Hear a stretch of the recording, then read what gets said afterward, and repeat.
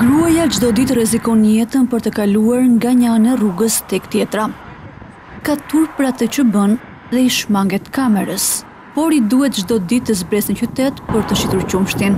Prej më se një viti, mbikalimi i planifikuar ende nuk ka përfunduar.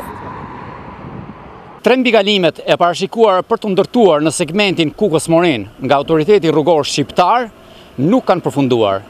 Burime jozyrtare bëjnë me dije se kontrata e kompanisë e cila kishte marrë përsipër ndërtimin e këtyre mbikalimeve e kontraktuar Nga Autoriteti Rrugor Shqiptar ka prishur kontratën dhe është larguar nga vendi i punës, duke i lënë të papërfunduara këto mbikalime. Siç e ndoqët edhe nga pamjet, banorët e fshatit Shtiqën janë të detyruar të rrezikojnë jetën e tyre për të kaluar nga njëra anë e rrugës në anën tjetër.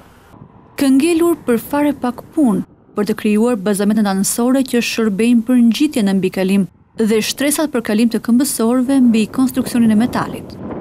Autoriteti Rrugor Shqiptar kontraktoi një kompani për të kryer punimet e parashikuara për dhjetë muaj, por burime për ABC News tregojnë se kjo kompani ka ndërprerë kontratën për arsye financiare.